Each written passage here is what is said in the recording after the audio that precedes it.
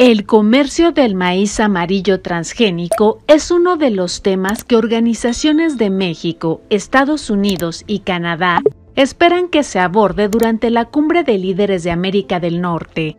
por lo que han solicitado al gobierno de Andrés Manuel López Obrador mantenerse firme en su gradual prohibición rumbo a 2025, pese a las presiones de las autoridades norteamericanas y de las transnacionales que controlan las semillas y los agrotóxicos. En diciembre, los tres países firmaron compromisos en la COP15 sobre biodiversidad, entre ellos implementar la agroecología para contribuir a largo plazo a la seguridad alimentaria. Por ello, un grupo de organizaciones consideraron que sería una incongruencia que por un lado los gobiernos de México, Estados Unidos y Canadá firmaran en Montreal esta convención y por el otro lado acepten a algunas empresas cabilderas. Las empresas de Estados Unidos, Europa y Asia que controlan el mercado de plaguicidas y semillas transgénicas resistente a plagas son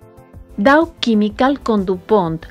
Chem China con Sigenta y Bayer con Monsanto. En víspera del encuentro de los tres amigos de este martes, el presidente Andrés Manuel López Obrador recordó hace unos días que desde el año pasado la Secretaría de Agricultura, Gobernación y Economía están en negociaciones con la Secretaría de Agricultura y la de Comercio de Estados Unidos para llegar a un acuerdo en torno al maíz amarillo transgénico. Hasta el momento se determinó alargar la prohibición de importación de 2024 a 2025 a la par, investigadores de CONACYT buscan alternativas más saludables para garantizar la seguridad alimentaria, como el uso de bioinsumos y agroecología a gran escala.